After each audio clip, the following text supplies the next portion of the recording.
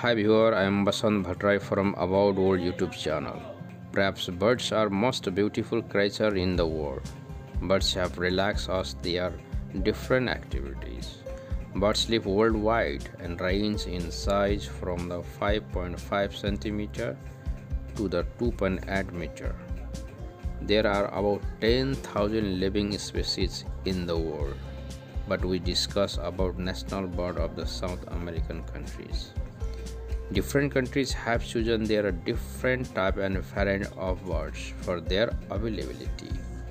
Unique feature. Country honored them highest position.